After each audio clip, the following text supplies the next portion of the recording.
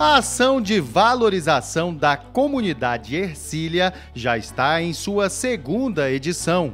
Em alusão ao Outubro Rosa, o Ercília Rosa promoveu ações de cuidados com diversos parceiros e voluntários. É, o Outubro Rosa vem como uma intenção de preventivo né, da mulher. Só que a Escola Ercília resolveu um pouco maior esse leque, né? não só no preventivo, mas também na questão da valorização da mulher. Então hoje nós tiramos o dia para exames médicos, para uma palestra de é, preventiva, mas também junto com isso um atendimento mais para valorização da estética, da beleza, do cuidado, da higiene pessoal. Tudo isso a escola resolveu atender nesse único dia, não só com as nossas alunas, mas também para toda a família de todos os alunos aqui e da comunidade do setor aeroporto e do Vila Nova. Hoje aqui também estão sendo destinados exames específicos, valorização da mulher, que muitas vezes não consegue buscar unidade de saúde, mas hoje está tendo essa oportunidade. Exatamente, principalmente os nossos alunos que são da zona rural, porque aqui nós atendemos o industrial, a do trevo, e é, é, é dificultoso para eles né, essa parte. Então hoje nós tentamos trazer todos esses atendimentos em um só ambiente para que eles pudessem é, usar, fazer o uso de cada um deles, sem ter que é, ir nos seus locais, né, que é mais dificultoso. A Unirg, importante parceira, dispensou atendimentos em saúde e ainda possibilitou com que os futuros enfermeiros colocassem em prática todos os conhecimentos adquiridos. É, vamos realizar o, os procedimentos de coleta de citologia, que é um, um procedimento de prevenção do câncer de colo de útero, Estamos com alguns alunos da Liga que vai dar uma palestra de prevenção do câncer de mama também. E estamos à disposição e é um ato de amor, né? Com os portões da escola abertos, moradores de vários bairros do entorno puderam ser beneficiados. Toda a comunidade Vila Nova, Jardim da Luz e aeroporto, porque nós temos a extensão do aeroporto que também está aqui hoje.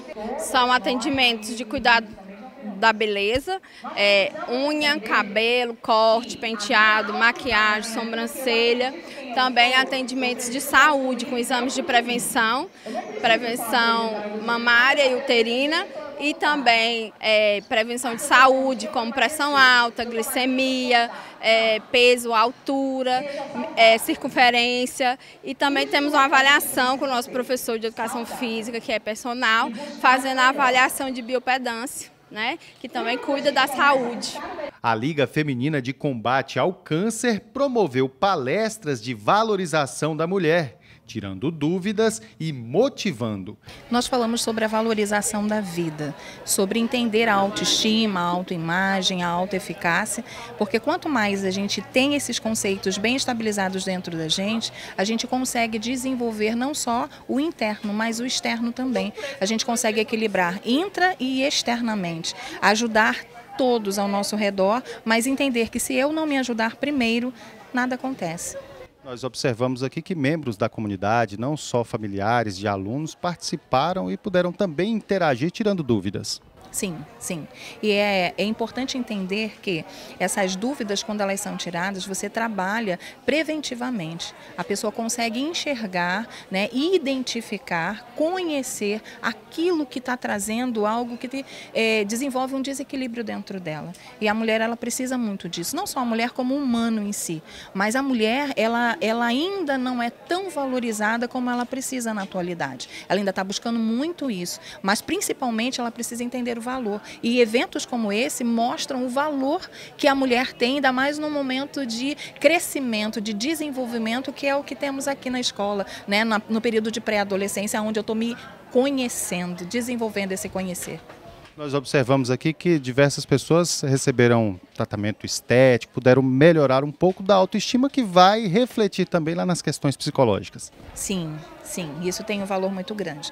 Porque quando eu conheço aqui dentro, mas eu cuido do que está aqui fora, eu mostro a alegria, eu desenvolvo essa alegria, eu, eu, eu desenvolvo o cuidado. E esse cuidado no meu externo, nas unhas, no cabelo, ele traz para a mulher uma base. Ele fala assim: Uau, estão cuidando de mim O contato, a pele é algo maravilhoso quando tem esse contato. Porque a pele é o maior órgão que nós temos e às vezes a gente esquece dele. E aí, quando a gente é cuidado nesse exterior, o interior também recebe aquele afago gostoso.